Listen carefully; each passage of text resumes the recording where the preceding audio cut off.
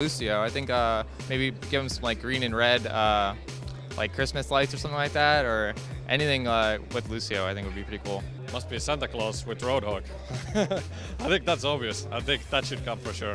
Well, I think there could be like a lot of really good things done with Roadhog, like you know turning him into Santa and all those things. That would I think that would be pretty cool as well. In my chat for my stream, someone mentioned once a Grinch for the Reaper skin, which I thought would be actually pretty cool because Reaper is like a grumpy guy, and a Grinch one for him I think would be really cool. So that's one I'd like to see. To me, the qui- most obvious would be Torbjorn, like uh, Santa Torbjorn, of course.